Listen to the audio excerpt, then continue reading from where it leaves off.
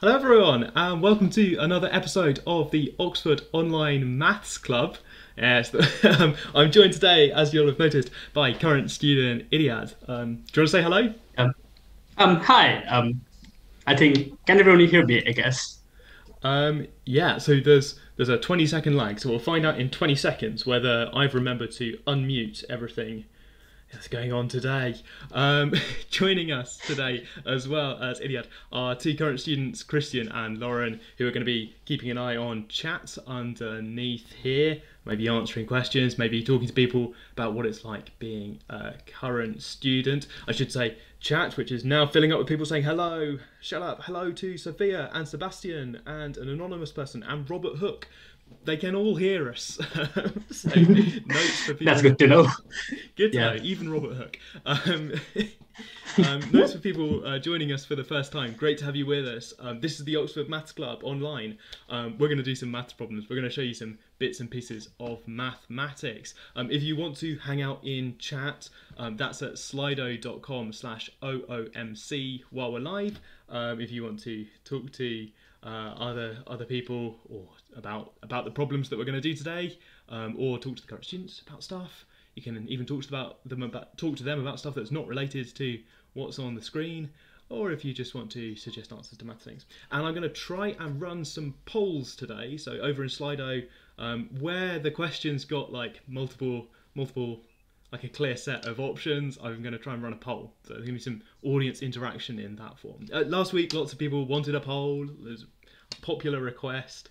Um, this week, I'm going to do a poll. Um, so people are saying hello. I can't say hello back to everyone. I'm going to shout out people who are on screen now, which is Celia, hi, hi Faith, hi Fiza. Um, your comments are moderated and will appear on the live stream feed. So please don't divide by zero or swear. Right, cool. Um, okay, um, so I've brought Iliad on to talk about some maths problems, um, which we're going to get to in a moment. Do you want to say anything before I tell them the title? Or should we just should we go for it? We should, we should just go in, I guess. Yeah, let's just go in. Um, okay. So the title is Cute Olympiad Maths, and I'll, I'll, I'll do a brief introduction. That this was pitched to me as Olympiad problems, but we're going to make it sort of fun or uh, Olympiad problems that we can get stuck into. Um, I hope that's a sort of fair description of what we're about to do. Um, yeah. Um, uh, uh, so uh, a lot of people are asking about the definition of cute. Um, I guess the definition in this case is um, they're just fun to try. Uh, that's quite vague, but um, I guess that's the definition we'll stick with for the moment. Right. Do you, want to, do you want to explain what your experience of Olympiad maths is? Um, well, in my experience, like uh, there's like a couple of categories of Olympiad problems. Some are really ugly, especially like number theory problems. Um, well, they're ugly because I don't, I can't really solve them, so I'm quite biased. but um, uh, the cute problems are the ones that are quite difficult but still have like two or three line solutions. And if you can like find the solution it's really nice and fun and like it's a good feeling to have. But if you can't find the solution to the problem and then you just then you read the solution that oh it's just two lines and i spent like five hours on this problem that's quite frustrating. So it can be a double-edged sword but um they're just fun problems. Yeah Okay. Um, we've already got the. I warned you about this. We've already got the standard guest question. What A levels did you do? Uh, I did none. Yes, that's the answer. Um, so, do you want to give more context there, or just leave that yeah, as a mystery? Um, so, um, I did not do the A levels because I'm from Bangladesh and we do like some other curriculum. So, yeah, that's the context. And you represented Bangladesh at the International Maths Olympiad, right? I wasn't. Yeah, I, I went to the IMO in 2019 and 2020. Okay, and you're a first year Oxford student at the moment. Mm-hmm. Uh, I'm I'm a first year student at Mansfield College. Uh, I'm doing maths, obviously. Brill. Okay. Yes. No. Sorry. that was brill. I got distracted by something someone said in chat. Someone posted an answer to a question, and we haven't answered the questions yet. Should we ask them? Should we put them a question? Should we set them a question? Think that's a pun. Um, oh, 70 degrees. Yes. I have to read the whole thing. I don't know if. it's going to be one of those one of those live streams. Right. Let's give them a question. Okay. Oh, this slide says in chat today, Lauren and Christian. You know Lauren and Christian. Lauren and Christian have both been on live stream before to present maths and to talk to people about maths. People are now saying hello from all over the world as well, which is nice. Um, Sebastian wants to su- suggest a problem. We've got some prepared. If you want to suggest one in chat, then we'll get to it if we've got time, I suppose, as well. Right, okay. Let's give them problem one. Here we go. Do you want to read it out? Yes. Um, so problem one, uh, we have two concentric squares of side length one. So basically the squares have length one, which is self-explanatory. Um, and the word concentric means that uh, the center of the squares are the same and we define the center of a, of a square as the intersection of the diagonals. So if you like draw the four diagonals in the problem, they will intersect in the same point. So that's the setup of the geometry. Um, and we have to prove that regardless of what angle they're tilted at, uh, the common area is more than 3 by 4. Okay, so common area here, just because we've got these slides on my computer so that I can scribble inside them. The common area is the bit that's sort of inside both of them, I guess. Mm-hmm. So if, if the squares were like exactly on top of each other, the common area would be um, 1, but they could also be less than 1, as in the image. Uh, we have to prove that regardless of the angle, it's always more than 3 by 4. Cool. Um, okay, so I think we should give people a minute to uh, think about this. I don't have a multiple choice poll for this one because it's a proof that question. We're looking for a, a good reason why the common area is more than three quarters. Um, uh, somebody's asked in the meantime though while we're while we're giving people a minute to have a go at thinking about maybe thinking about how they'd approach this problem i'm not sure if we're quite going to give you time to do uh, do the problem entirely but um, while while we're waiting somebody would like to know what o levels you did somebody i think somebody's looked up the bangladesh equivalent of the a level standard a level question um I think I did like 14 subjects. That's a long list too. that's, Yeah. that's tricky to compare with A levels. You did Uh-huh. some maths, Um, right? I did do some maths. Um, I wasn't very good at it, but um, yeah.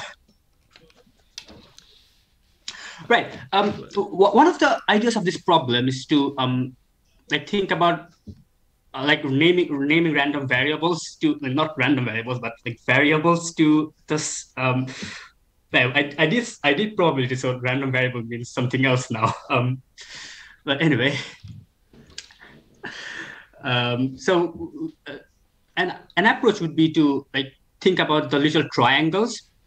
So we have um, I think eight different tri- eight triangles, and um, not, not these ones like the ones that's that are sticking out. The triangles that are sticking out. Oh, you want these triangles on the outside? Yeah, yeah. So these triangles, there are, there are eight triangles, and all of them are like congruent to each other by symmetry. Like you can mm, prove that fairly easily. So one approach uh, to the problem would be to figure out the area of those small triangles and then subtract one minus four times that because um, the common area would be uh, one minus four times that basically. So that could be a strategy to this problem. So we found And Mhm. if we found maybe these lengths in terms of theta, some angle or something, or we did some trigonometry maybe. Maybe Uh, then we can find the some find some triangle areas, do some subtraction, and then we've got some inequalities to do. I kind of think kind of feels a little bit like something I could maybe do on a maths question that I could get people on the MAT to do some sort of trigonometry, find some find some lengths, find some angles. Maybe I Yeah. could put some help in a bit and do some inequality stuff to show that that's less than three over, no, more than three over four.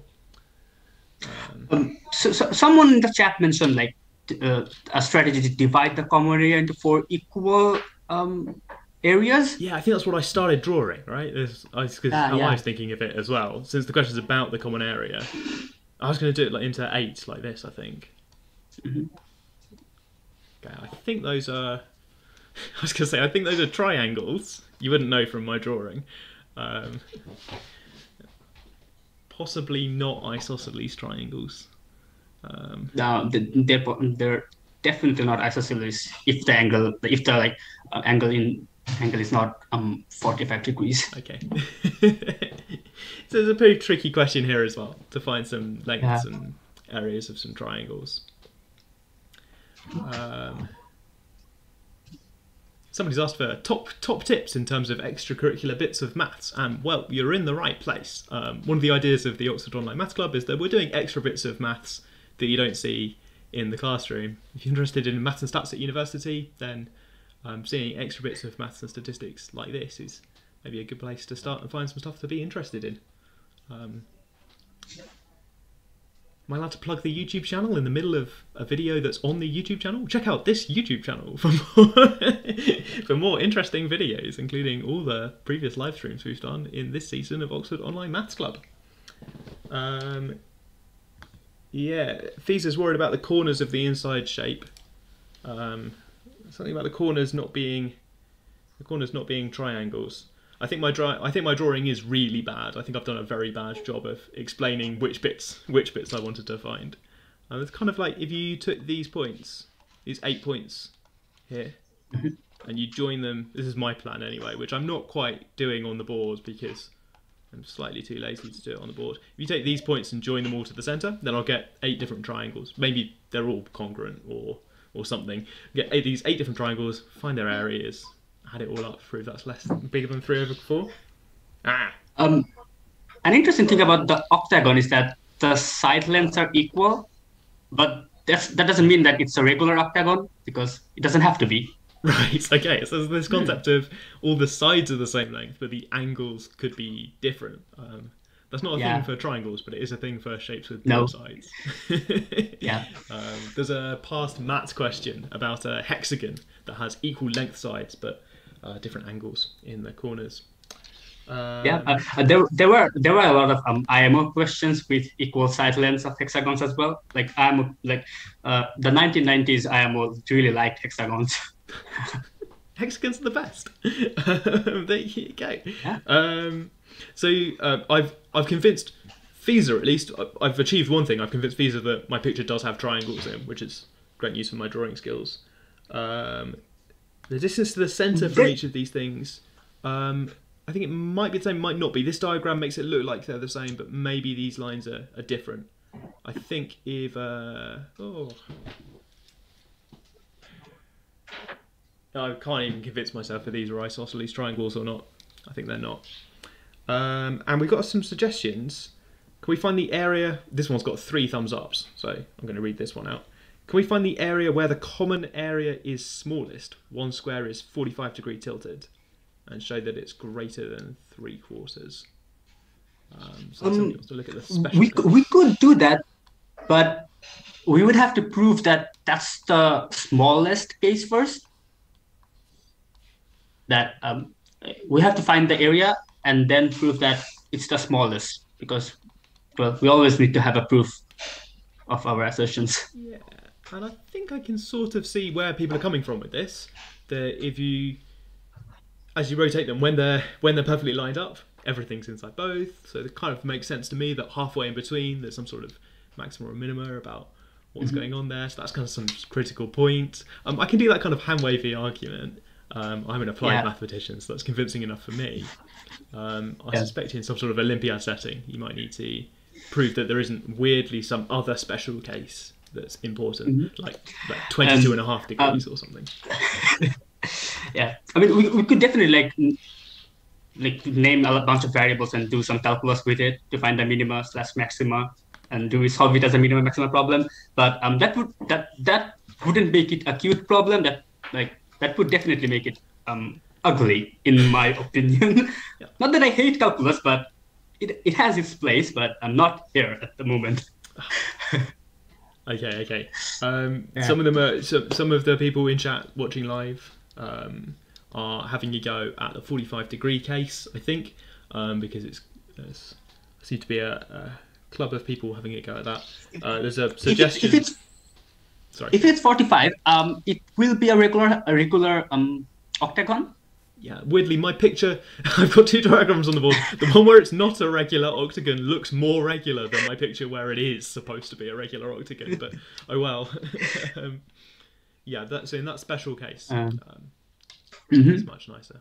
And um, like uh, we could solve that by considering like doing Pythagoras because the length, like the, the hypotenuse, if the hypotenuse is x, then the other two parts should be like, uh, uh, if the short ones are x, the hypotenuse should be root x times root 2. So 1 is equal to x plus x plus x root 2. And we can just find what x is. Okay, okay. Yeah, so we could do some do some nice little bit of that feels more like a math problem to me. Um, yeah. Someone in chat says it's gone blurry, which is a bitrate problem, and I'm fiddling with YouTube live streaming settings behind the scenes while also trying to draw octagons. Um, oh, right, let's try and keep up with that. We had massive tech issues. Okay, a couple of people are not, we are not not seeing blurry vision. Um, I'll try and talk clearly because it, it usually seems that the audio the audio stays even if the video feed goes pretty bad. So we'll remember that. Um, do you want to show them a trick? Um, I'll, I'll just give him the hint. Uh, so, what if you think about the squares as rotating? I'll, I'll tell you that. So, like, we have to solve the problem. Um, you have to solve the problem uh, in all the cases.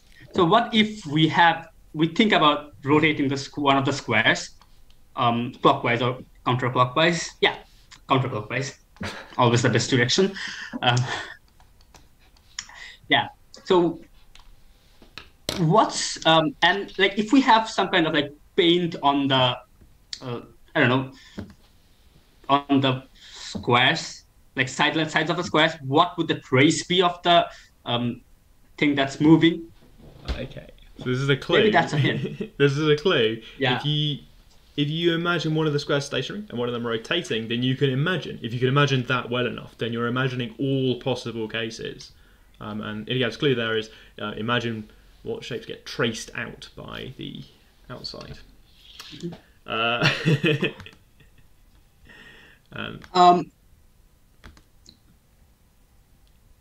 ah, people are put. People are talking about concircles or putting a circle around the outside for so as you move this, as you rotate the square, the corners will stay on some circle. That's true. Yeah.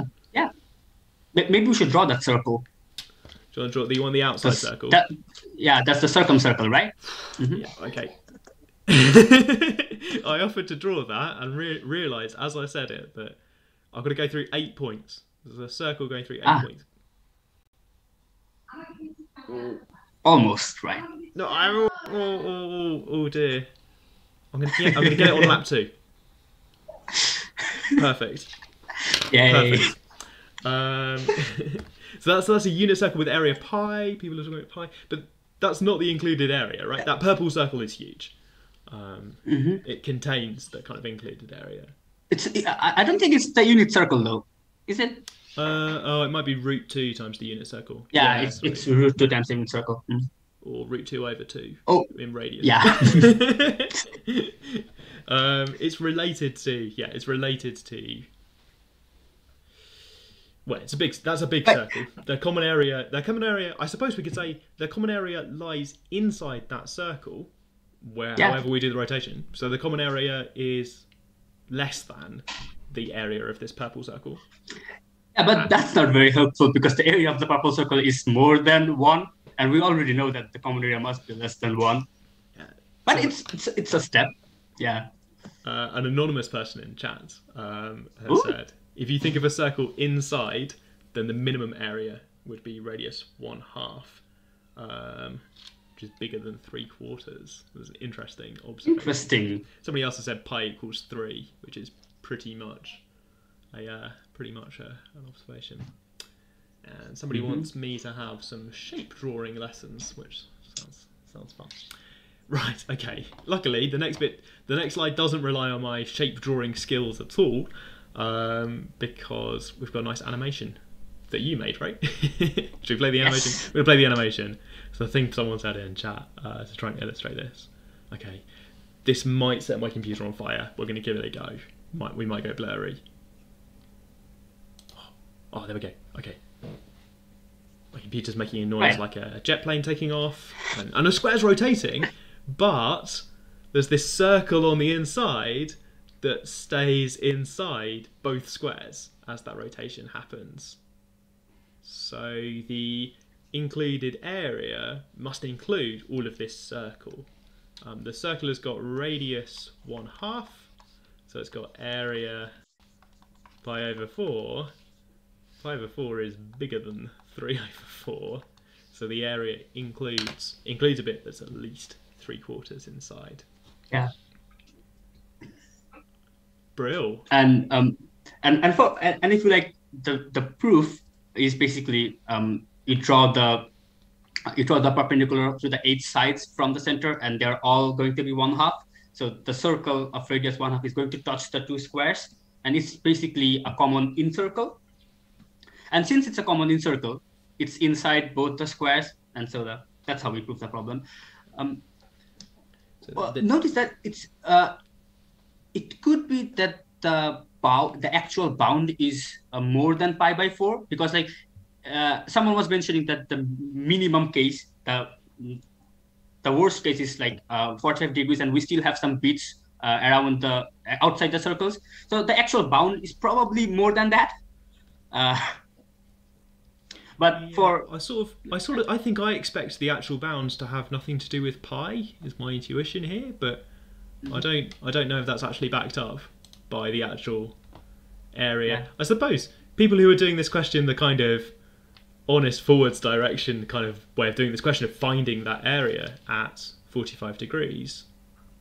Yeah, I kind of expect that to have loads of things to do with root two and stuff. Mhm. Um, Well, mm, one of the funny things about this problem is that the answer we got is uh, uh, a stronger bound than the, the question than what the question asked, and it, it, it's quite funny because if we ask them if if you ask anyone to prove the common area is more than pi by four, they would start thinking about circles because pi is related to circles. But just by making the problem a bit weaker, we uh, just take away the like the major hint of the problem and it makes the um the the weaker problem is kind of harder which is quite um interesting You've tried you've tried this. You've tried both versions of this problem, right? You did a test. yeah yeah so um in one of the math um uh in one of the math camps um we divided the people into two groups and gave them gave them the problem uh, with one gave one of the groups with the problem with five by four and the other group with um, three by four and the five by four group solves like it inst- almost instantly the three by four group not quite so it's like statistically proven that the problem is harder with uh, three by four in it yeah Not always the harder mathematical statements that are harder to prove. Okay, Mhm. Let, let's do let's do another. So Yeah. the structure here is we're doing lots of different problems uh, that aren't related. Um, cool. Okay. Ants problem. Do you want to describe the ants problem? I think I'll play the animation as well, shall I? Yeah.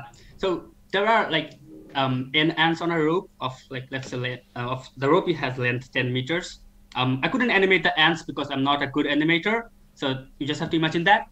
And they're all moving at one meters per second. If two ants bump into each other, like as in the animation, they just um, reverse the direction. If they reach the end of the rope, they fall, as in like they're falling right now. And the question basically asked is that how long can we make the ants stay on the rope? Um, if the ah, that's nice. Someone has seen this question before. Um, that's good. I'm Don't play spoil it for us. Yeah. Um, yeah, so if you've seen this, if you've seen the question before, try to imagine what it was like before you'd seen the answer to the question, and don't spoil it for everyone else yet. We're gonna get there. Um, I kind of want to run a poll for this one because I thought I could. Um, I have a poll for people So- in chat Mhm. uh, for how long it takes. I suppose it kind of depends on where the ants start, I suppose, and and which direction the little ants are facing. Um, but If, if we have are- like one, if we have like the, in the simplest case, if you have one ant and it starts at the at the very end, um, it will take them exactly ten seconds to cross over. But what happens if we have like more than one ant, and let's say two or three or four? It gets more complex, doesn't it? Yeah. So I guess.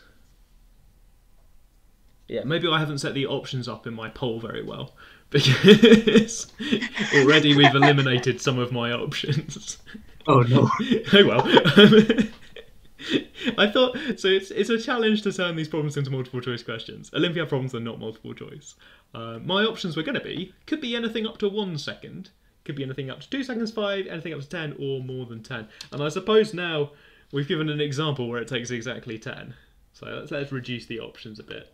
It's either going to be oh okay okay anything up to ten seconds, or maybe maybe it takes more than ten seconds. Um, maybe the Mhm. ants can um, slow each other down, right? Like um, if you have Yeah.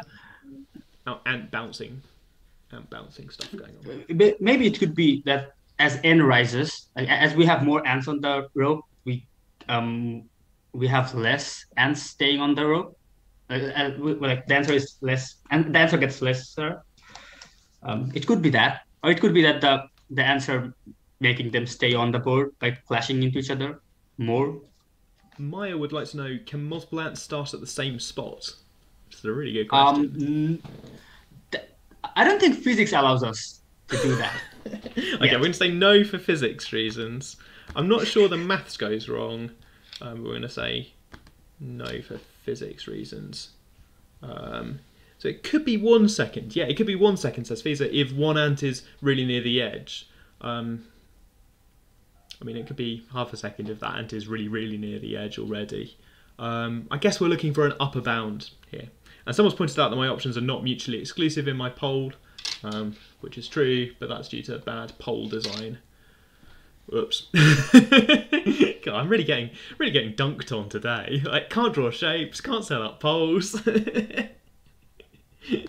um, cool. Um, the voting is currently it's secret voting because I like I like having it so that people's votes aren't influenced by what other people are voting for. But it is currently exactly 50-50 between could take more than 10 seconds and will the option that should be definitely done within 10 seconds.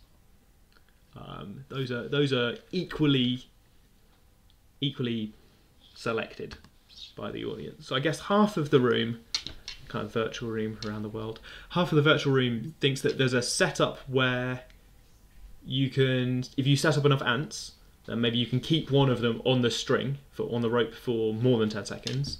And the other half of the of the room thinks that no, wherever you put the ants, wherever you start them, they're all going to be off the rope within ten seconds. Uh, Um, Maybe we should try to solve the problem for n equals to two, and see if it if that leads anywhere. Okay, I'm going to try and draw a picture Yeah. for that. No shapes, so I'm safe. Um, oh, I'm going to do yeah, yeah, yeah. Just because I know that some physics people watch this, I'm to do a little space-time diagram. This probably won't make any sense to the non-physicists, but hey, it's got time going up the y-axis. What's going on there? Um, but if you've done like any sort of particle physics stuff, or if you're interested in tracking like special relativity things, then you might have seen like you could have like a red ant coming in this way, and green ant coming in this way, and then they bounce off each other. So they bounce off each other like that. This is like a very, very basic scattering problem. Oh, I love physics. Right, scattering problem, and then they split out again. So I could maybe keep them in like this, and then I've got to work out if you start here and you start there, what's going on after you've scattered. How long? How long does it take before we get to this kind of point? I guess what I want? I want kind of this point where it gets to zero or 10 meters or something. Right, I've mumbled about space-time diagrams for about a minute on on air. um, so uh, I've, I've hidden chat on the live stream, but people in Slido can see chat. Um, I'm going to read out a couple of things. Um, wouldn't both ants turning around have the same effect as both ants carrying on through each other? Says someone in chat, and they're anonymous, which That's interesting, huh? two ants bumping into work? each other and changing direction is the same as if they just walk past each other, says someone. I guess they're thinking that because the ants because the ants um you know, I'm sure the ants their own individual um, creatures, but because they're kind of indistinguishable to us I mean, in terms of staying on the rope, that um, we don't really mind if they've got mixed up. They're all going at the same speed, so well, they've mm-hmm. well, they bounce, they could go through each other. Uh, should we should we show the animation then? Charlie's question is perfect, which is: Do we assume each collision between two ants has the coefficient of restitution one? Which yes, the, the perfect physics question. I love it. Right, good. Okay, um, let's show them the animation. You had an animation for this to try and demonstrate this point. Let's go. Um, yeah. Do you want to talk over it? So in the bottom, two ants, distinguishable, yeah. bounce off each other. In the top, and the ants, the ants without the ants without um, without their colours. So these pictures kind of look different because in one are distinguished and the other the ants are not distinguished. Um, but in terms of how long it takes for the ants to get off the get off the rope, um, it's it's the same if we allow the ants to walk through each other in terms mm-hmm. of just where ants are. Um, okay, where's that? Where's that help? Um, that, that, that makes the problem like significantly easier because the hard part of this problem was tracking where one ant goes, and since it's like bumping into um, other ants, the path of a single ant is really um, chaotic, and as n gets large, it's it's I think it's quite impossible to like um, figure out what a single ant's path is. But if we like convert the problem this way, and, and we think about the collision collisions of two ants being um, having the same effect as just passing through, then uh, an, an ant just passes through all the other ants and just falls off the other end. And every ant does the same thing. So everyone has to every every everything has to get off the has to be off the rope within 10 seconds. Yeah. Because of because of this argument, right? There, it's quite subtle. It's sort of like um, if you had a movie, if you had a movie with with the ants staying on the rope for more than ten seconds, then I can come through and repaint the ants so that instead of bouncing off each other, I I, I recolor all the ants so that they're passing through each other instead. Um, and I've got to do that really carefully because I've got to track. You've got all these collisions happening in your video of the ants, um, but I've got to track like, oh, first this happens, so now I've changed which color these ones are, and then later on when they crash over there, I need to change those colors to reflect that as well. I could change lots of change the colors all the way through, and make that into a video of lots of ants passing through each other. But hang on, the ants are going at one meter per second, and there's only 10, 10 meters of space, so they're going to run out of space in 10 seconds. Yeah. Um, cool. Okay, um, the audience was pretty split on that one um, in terms of voting, but anything up to 10 seconds has eventually won on the yeah. on the live poll. Cool, right. The, the, the fun uh, the fun thing about the problem was that the first time I heard about it was um, when a twin was teaching us in like 2016, and they um, they phrased the problem in terms of like people and um, when they were talking about the solution, they were saying like, "Oh, our souls just change uh, from body when we collide, and so it's like it's the same thing. And since they were twins, that was um, kind of funny. Anyway, okay, okay. Um, the real philosophy there as well. Um, somebody suggested we simulate it, or we we try ten ants that are equally spaced. Here's what happens if you if you have uh, some ants that are equally spaced. Um, so I'm drawing this in black and white first. So if you set them off in random directions, then you get something like this. These lines are supposed to be parallel where crucially this ant, if this is the red ant, and it bounces off like this before eventually falling off the edge. But this picture of the lines, you know, if you look at this picture in black and white, then it's a bunch of parallel lines that cross over each other. And every one of these parallel lines ends up ends up off the off the end within 10 seconds.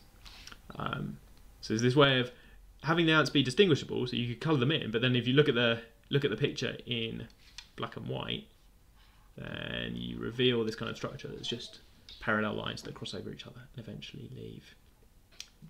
Okay, good. Uh, um, so, someone someone's mentioning that I hope that the ants don't die when they fall off. Um, I think they don't because like I saw a Kurzgesagt video once about what would happen if like an ant falls from a hundred story building and basically nothing because of air resistance. So I hope they're okay. Yeah, they should be okay. They're fine. if the problem has air resistance. Uh, right, okay. Air resistance. Suddenly we're doing fluid dynamics. My, my, my topic. Cool. Right. I've realised we're, t- we're spending. We, I love these problems, and we're spending slightly longer on them than I than I planned. So I'm going to try and move on move on faster, so we can Yeah. show get through get through more problems.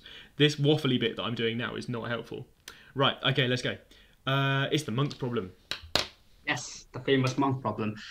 So, um, a monk is is going to the top of a mountain to um, do something monk stuff, um, and he starts his climb at 8 a.m. in the morning and reaches the top at 12 p.m. He then spends the whole day at the top and spends his night there as well. The next day, he starts going down at 8 a.m. and reaches the bottom of the mountain. Reaches the bottom at 12 p.m. Like um, as we can see in the animation, he's going up. Um, and then in the next animation, we're seeing he's going down. And it's given that there, there is like a single trail to the top of the mountain. And we have to prove that there is a time on both days where he was at the same point of the climb. Right. So there's some point, at some time of the day where he's at the the same point of the same point of the mountain trail at that time. Yeah. Like maybe it's like three o'clock or something. So if, you, if, if it's like a space-time diag- diagram, then it's um, exactly the point. Yeah. I was already thinking, can I get another space-time diagram into this?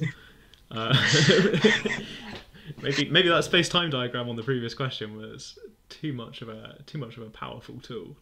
Um, so th- this problem doesn't give you any information about the shape of the mountain trail, or information about how high the mountain is, or what the trail looks like. Yeah. It's just this one unique yeah, it's, trail. it, it, it, yeah, it, it, it's quite an interesting thing to like mm, see that um, the problem is quite arbitrary.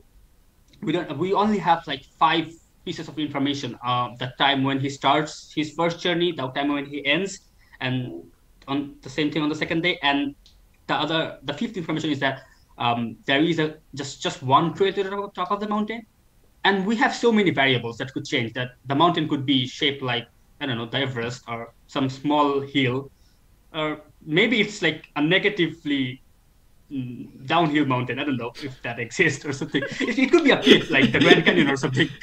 okay, right. Or a canyon, or as we now call them, a negatively downhill mountain. Brill. um, Someone said it's got. Someone said this problem's got pigeonhole principle energy, which I like. I mean, it's kind of not the pigeonhole principle. I don't know a way to do it with the pigeonhole principle, but I'm, I'm kind of imagining a version with Um, three paths and ten monks or something. With Yeah, uh, I mean it's it's kind of pigeonhole principle E because uh, it's an existence proof, and pigeonhole principle like um, gives us existence proofs and not like constructive proofs. So it, Right, it has that same kind of energy, in that sense. yeah, I'm trying to think. Have we done anything else non-constructive on the um on the live stream this season already? I think just the pigeonhole principle is just our experience of having something where you prove that something exists or happens, but you can't say what it is or where it is. Um, Yeah, we, we're doing a lot of um, existence proofs in this um, live stream. Hmm. uh, has got a plot twist about time zones, which has reminded me that clocks go back or forwards, or one of them on Sunday. Um, so watch out for that in the UK. Um, if you're watching in a time zone that does daylight saving in a different way to the UK, then you might find that next week's live stream is not quite at the time you're expecting. um, we're going to be at 4:30 UK time, even if UK time changes. Um, Um, This- we, we don't really know if it could be like exactly 10 a.m. because we don't know how fast the monk is going. It could be that the monk just stays at the bottom from 8 p 8 a.m. to 11 and then just runs to the top of the mountain uh, in one hour. It could be that he he runs up to the top in uh, one hour and then stays at the top for three hours. We don't know anything about the uh, about how the monk is making the climb or making the descent. We just Yeah. know that he starts at, at 8 a.m. and reaches top at 12 p.m. I guess So- it's it's 10 a.m. if he goes at a constant rate in both directions. But if he if he Yeah. does something more complicated, Mhm. um, or I if he mean, does he one could- thing on the way up and a different thing on the way down, then, Yeah, then it could he could even be going backwards for a couple of minutes. right. So this is the thing: can we assume he walks at the same speed? We're not going to assume that he walks at the same speed. Yeah. So this is going to be different from the ants problem in that way, I suppose. Whereas mathematicians we try and have it both ways, right? Like we, we want to Yeah. assert at one point that all ants walk at the same speeds, and then Yeah. whiplash a minute later, we're asserting that Yeah. monks can run up mountains if they want to. Um, If, if we assume that if we assume he walks at the same speed, we're specializing the problem, and um, we're solving a special case. But if we make a general argument, that solves the problem for every case, and that case included. So general arguments are always more fun and more mathsy, I guess. Yeah, Raphael wants to draw some space-time diagrams. That's pretty much where I would want to go with this. Um, draw some space-time diagrams and prove that. Then you're trying to prove that there's a point where, you know, point in space-time where things collide. Um, and some other people have put very convincing arguments that I've been not reading out, just in case anybody's still trying out the problem. Um, but I think every every every solution I've seen so far looks pretty pretty correct. Um, I Feezer, I love this. I love the suggestion about we could try and work out. Um, we could try and make it more physical, right? We could work out the gradients and work out a kind of realistic model about how the monk climbs the mountain. It turns out that this problem is really weird. It doesn't depend on the kind of physical details of how the monk does it. But like this fact is going to be true. It turns out, even if the monk's doing something mad on the way up and something Yeah. crazy on the way down. It, like if if the function, uh, if the uh, mountain had the shape of the Weierstrass function, the problem would still work. now we've got to explain the Weierstrass function. Let's not explain the Weierstrass function. Or do you want to explain the Weierstrass function while I read out this message from Uh, Charlie? It's it's a function that's um, continuous at every point, but differentiable at differentiable nowhere. I think. Yeah, yeah, looks Yeah. like a. Um, yeah, Charlie's got an argument about um, at any particular time going down, he's either past the point, which is not what we're looking for yet, or at the same point, or not yet reached the same point. Um, so at some point, at some point, there must be a middle point where it crosses over, I guess, from one to the other. I think that's kind of the kind of the argument from people sending two monks around as well. Um, ah, and somebody's doing the thing where they try to get lots of likes in Slido, so good luck to them. Um, right, uh, should we show them the animation that you made for how the solution works? You could talk, talk over it as well, I guess. Yeah. Um, oh goodness, So do you want this one? Uh, so I I think yeah, it's this one. I'm not sure because they all start the same way. They do, don't they? yeah. And I'm struggling to make this one work. Um, we- I'd we're, like this one. we're doing, uh, we're going to do some kind of a space diagram. It's not exactly a space time diagram. It's not exactly a space time diagram, but it's similar, I think. I think I've Yeah. broken your video, so I'm opening it in a different. Oh no. It's all right. Don't panic.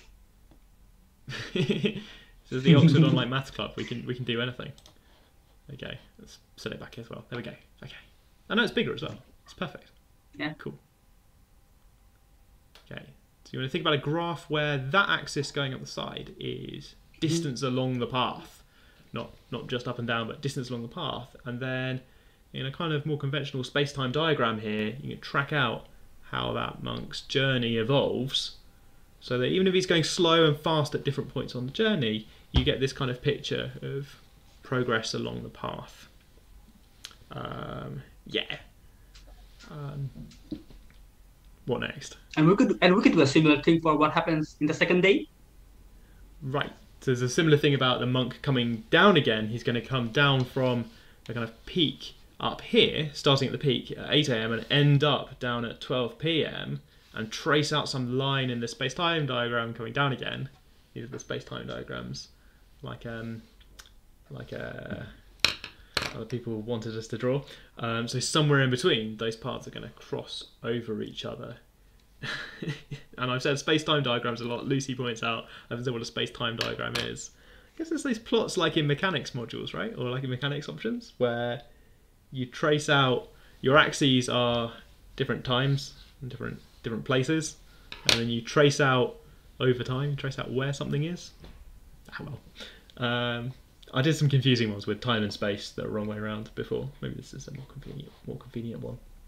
Okay, so some sort of graph argument like this works well, um, um, which is pretty good. You've got another explanation as well, though, which I think I've seen someone put in chat as well, um, which is this one. Yeah. No, yeah. So So I, I, think someone already mentioned that in the chat, but um, we could uh, we could solve this problem in a story-like way. So we introduce a second monk uh, who start like who spies on the first monk um, on the first day, and the, for the first monk is going up, and he um, he makes uh, he makes notes on his little notepad, um, and he does that. and he does that. He does the same thing on the second day. So the second monk is going up on the second day, and the first monk is coming down. And of course, since they're on the same trail, they must cross over. And um, what can we say about the time when they cross over? Uh, the second monk is copying the first monk. That means the first monk was there on the first day, and the first monk is there on the second day as well because they're meeting each other. So that's one of the that's a different solution. That's um, more, that's the same solution, but it's in a more storytelling way. And um, the reason why this works is because the path of the monks are continuous, and that brings us to um, the intermediate value theorem, I guess. Yeah. So I'm going to put something in the further reading. I think um, this yeah. idea that you know, um, I think like Charlie was trying to describe that they start out in one situation, they end up in another situation. It's kind of continuous, so somewhere in between, the thing must have must have switched over. Or in terms of graphs, if you've got a graph that goes up, and you've got another graph that comes down, and somewhere in between, there's this point where the graphs cross over to get from the graph going up to get to get to switch places. They have to go through the same point if they're continuous. Um, yeah. I'll put some stuff in the in the further reading about continuous functions and this thing from essentially university maths about finding if, if the, things mean. If the monks had like teleporting abilities, the problem wouldn't be um, correct. So yeah, because yeah. the monk could the monks could teleport around. One of them teleports to halfway up the mountain. The top monk safely teleports down to the bottom of the mountain, and then the middle one teleports up to the top of the mountain. Um, that's if you've got introverted monks who don't want to meet each other, which actually sounds like a lot of monks. Um, right, okay. Um, that's problem three. Are, are ter- teleporting monks realistic? And what do Lauren and Christian in chat think about this problem? Lauren and Christian, there's your cue. What do you think about this problem? You can say anything you like. Right, okay. Um, let's move on to problem four. We've got about 10 minutes. Oh, we're going to try and fit in a couple more. This one's a game. Yep or branching So we have two we have two players playing the game, Anna and Banana. Um, the game is on a rectangular table. The players make their moves sequentially, and on a single move, a player puts a coin on the table so that it doesn't overlap the other coins that are already placed. And um, just, uh, and all the coins are the same same shape. And the objective of the uh, the objective of a player is to put the coins in a way such that the other player can't make a move and when that happens, the player who uh, yeah, the player who uh, can't put, put a coin on the table loses, and the other player wins. So we need uh, we, we are asking for a strategy for Anna or Banana, and that's the whole question. I'm playing out little game here, so they're taking yeah. it in turns to place coins on the table. Um, all the coins are the same size. Um, and as soon as somebody can't place a coin, so in this game, Banana is going to go for the winning move here. Banana is going to go for this one. Um, and now Anna's stuck. Anna can't place a coin. So in this example, after four moves, um, Banana has won the game cleverly. So winning strategy would be one where um, a winning strategy would be one where um, no matter what the other player does, um, you always win. Sebastian's seen this one as well. Uh, somebody's described your animations, which I'm going to say. I just want to make it really clear. I had nothing to do with the animations. The animations Idiad um, are three blue, one brown. Are they three blue, one brown inspired as well? Um, I, I'm I'm using exactly the same um, Python uh, stuff that um, he uses, and he, he put them on um, on a website, and it's like open um, open source. So I'm using exactly that. So it's the same thing. right, heavily inspired by three blue, one brown. You've got that color scheme. You've got that computer modern font. Um, do we need any measurements? Good question. Um, so no, it well, turns out that, uh, we need we need one measurement. Um, we need to uh, we need one measurement, measurement that the um the rectangular table can have a coin. I think it can be smaller than a coin. I think we need that. But except for that, it's all right. Um, so I don't I don't really know what the size of um a one pound coin is, but I, I, I think it's less than uh, 20 meters by 20 meters. So we can make the rectangular table to be, um, let's say, 20 meters by 20 meters. Okay, that's huge. This game's going to take forever. um, but it um, it doesn't matter. Yeah, I suppose if you were going to codify this game, if you're going to play this with a friend, then you'd probably want to agree in advance how big's the table, how big are the coins. Let's play. Yeah. Um, it turns out that there's a clever answer that doesn't depend on how big the coins are or how big the table are, how big the table is. There's sort of one idea that's so great, it, it works for all possible combinations of table and coin, provided you can put some coins on the table. Um, Yeah. Oh yeah, who's going if first? If the rectangular uh, Anna is going first, yeah. Might not have said Um, that. Anna goes first and banana goes next. Um, so if the coin is um, smaller, if the coin is larger than the rectangle, than one of the sides of the rectangular table, then um, Anna can Anna, Anna cannot uh, put a coin. So banana wins by default. In that case, Yep, I suppose. If the table is tiny and the coins are massive, a, a case that Mhm. We've considered a lot in this discussion, but somehow feels not like the real world. Um, if the coins are massive and the table is tiny, then Anna has to go first, can't place a coin, instantly loses. Terrible game. Um, Banana's winning strategy is, I suppose, watch Anna lose. Do nothing. Not even do nothing, right? It never comes down to Yeah. Banana to decide to do nothing. Just watch Anna lose, winning strategy. Um, the the options here for voting at the moment, and we got fewer votes last one because this one's tougher. Um, are either either there's a strategy that Anna can follow to always win, something Anna can do, maybe a maybe an amazing first move that blows banana out of the water um, so that Banana is completely doomed um, or maybe there's a strategy that banana can always follow so that no matter what anna does she's haunted by banana's moves until eventually anna finds that banana has completely ruined any any future moves that anna might have wanted to make um, maybe it's a, a second player winning sort of game uh, or maybe neither of them have a winning strategy uh, can they push the other coins around? No, the coins are the coins stay in place once they're there. Otherwise, I think the game probably goes on forever because you push the coins off the table. Um, yeah, so some an anonymous suggestion: can we divide it into squares? Can we think about splitting it up into little squares? Um, I think that probably helps you do a sort of pigeonhole principle sort of approach to this of talking about where coins are. Um, Yeah, but um, th- that doesn't quite help because we can put the coins um in between the squares. Yeah, you can put the coins, and it sort of matters a little bit. If a coin's in a square, it kind of matters where in the square it is because it might be influencing other nearby moves. That sort of. I quite like the idea of splitting problems up. I love splitting problems up. Splitting this Yeah. one into squares is a little bit tricky because the squares aren't totally separate. That you can influence other other moves that you might have wanted to make, um, or place coins over multiple squares. Um, Um, a, a- a nice strategy for like every combinatorial game is to um think about symmetry. So that's um, a hint to the problem. Um, because because symmetry always helps us to reduce the cases, and uh, it seems like there's a lot of cases in this problem, like where Anna puts his first coin, her first coin, and where Banana puts their second coin, and everything. And we could have a lot of cases, but um, if we introduce some symmetry, there could be a lot less cases and a simpler, simple strategy for someone to follow. People watching the live stream back on YouTube can't see the chat that's hiding behind the poll, so I'll read a few things out. Somebody wants to split into equilateral triangles. In before somebody says um, hexagons instead. Um, we're saying banana weird because the, their names are Anna and Banana. If, if, if that hasn't quite, the, it's not it's not a banana. It's not you're not playing against a banana. You're playing against somebody whose name is Banana. right. Okay.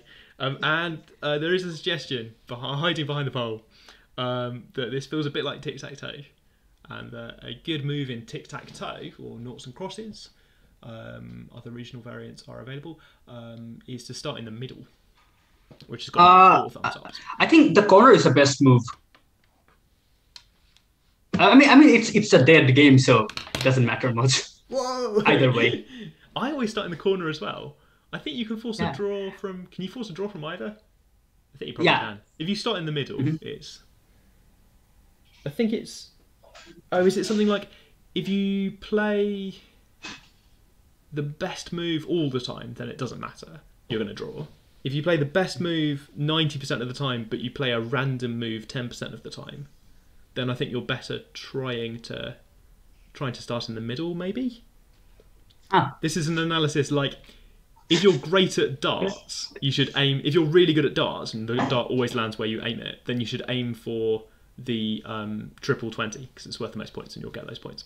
Um, if you're really bad at darts and you're inaccurate, then you should aim for the middle of the darts board instead because you should you need to avoid missing the dartboard and scoring no points. It's kind of how accurate you are in your intended moves can have this like your your variance of expectation can have variance of expectation your variance can have this influence on what your strategy is here everyone's achieving the moves that they want to Accuracy versus precision. Hmm. there are lots of strategies but they all end in draw right okay do you want to talk about what happens if anna goes in the middle Yeah. So mm, Anna does have a winning strategy. Um, spoiler. But um, so what Anna does is Anna goes in the middle.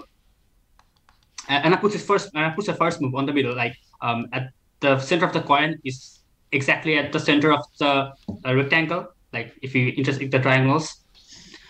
And if Anna does that, there's um, there's already a symmetry introduced in the um, whole setup because if banana makes a move now,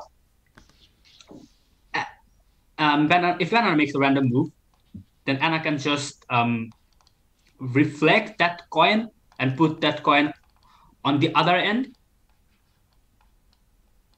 i think i'm illustrating this live Yeah, so she's going to mirror the And- moves somebody somebody said mirror in the chat and symmetry and yeah mirroring and reflecting Yeah. yeah. And she can, uh, and and we have to prove that, uh, and we have to prove that this strategy um, works. Uh, f- uh, to prove that, we need to show that Anna can always reflect, and she can because if she couldn't, there was another coin, uh, where where the uh, the reflection coin, and that means in some pre- uh, um, in some previous move, someone already did that, and that doesn't work because um, they're just reflecting on every move after the first one.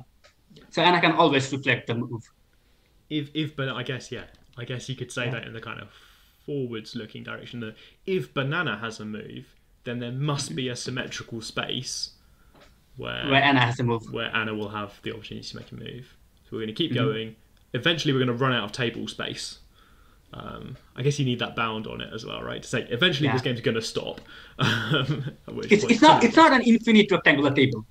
yeah, and the coins are not really tiny.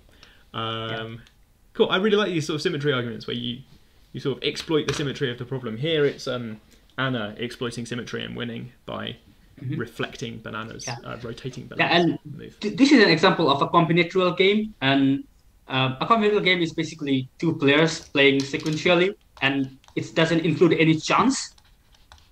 So in that sense, chess is a combinatorial game, and uh, we could um, also find a strategy for chess, like just like we found a strategy for this game, where Anna always wins, and for tic tac toe or knots, I don't know the name exactly. I don't know. Anyway, um, knots and crosses, I think. Yeah. Uh, and th- and there's a, strategy where if both player plays um, optimally, they'll always draw. And we can uh, theoretically we can do that with chess as well. But since chess has like nine different pieces and like 32 pieces altogether, it's quite um, a difficult thing to compute. And yeah, and people, I think I think uh, I read an article saying that if people start now, I think they could they won't be able to like compute it out until like 3,000 years or something. I'm not sure. Like with with technology now, with technology available now. Um, but they, uh, uh, I read that checkers is already solved, and um, if if both party makes the optimal move, it will end in a draw always. Uh, yeah, Connect Four is al- uh, also solved. And um, uh, I tried to like we were playing Connect, Four once, and I, I tried to look up the uh, optimal play of Connect Four, but it's so complicated that um, a person couldn't memorize that. Um, our problem is simpler than that, but so uh, it's we have a simple strategy, but in other problems, strat- in other computational games, the strategy could be um, not simple. We're going a little bit long. I've realised it's half past five. Um, but you know what? We're getting to the end of the season um, for OMC, so I feel like we might overrun a little bit as well. Hey, an anonymous person who's just said someone should make an Oxford Online Maths Club Instagram account. Obviously, that should be me. If anybody else makes a fake Oxford Online Maths Insta Maths Club, mm, I can't even say it. If anybody else makes a fake one, then don't follow, don't follow them. Right? Should we overrun very slightly and do one more problem?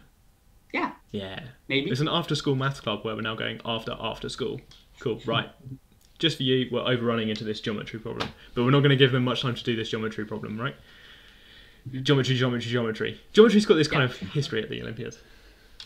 Yeah. Um, okay, here it is. It's a quadrilateral. It's got some angles marked in it, um, and um, we would like to know the angle of ZXY. Oh, I've just realised that this might be a good one to kind of, you know, set the question, give some hints, but not show them the solution. hmm Maybe we should do that just to wrap up the live Yeah. stream. Yeah, let's wrap up like that. Um, so here's the setup. It's a geometry problem. It looks a bit obscure. It's got some got some angles marked uh, in this kind of nice symmetrical way with rotation stuff going on, but the angles are different. It's not quite rotationally symmetric. Um, we're given three of them. We would like one more. Um, this is some angle problem.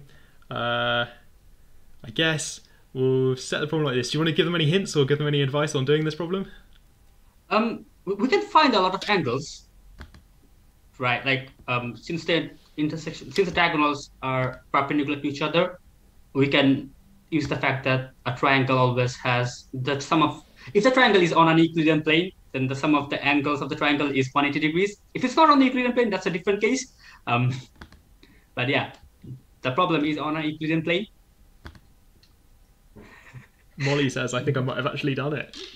Five exclamation marks. So it's good times. Right, okay. I'm not approving chat messages with um, solution messages, messages and solutions in for this one because I'm going to leave it. We might talk about it in the further reading tomorrow. Um, thank you very much, Iliad. Thanks for coming on and showing us problems. It's been really good fun. Um, we did have a sixth one, right? You added a sixth one in. Maybe we'll stick it in the further reading tomorrow as like an extra problem where we Yeah. didn't even have time to discuss it on the stream. Um, I want to do a couple of announcements. Um, so I'm going to hang out in chat again afterwards, like I always do. I want to do a couple of announcements. I've mentioned seasons a little bit. Um, we've started talking about this as Oxford Online Maths Club Season 1, um, which is going to have its last episode um, last episode next week.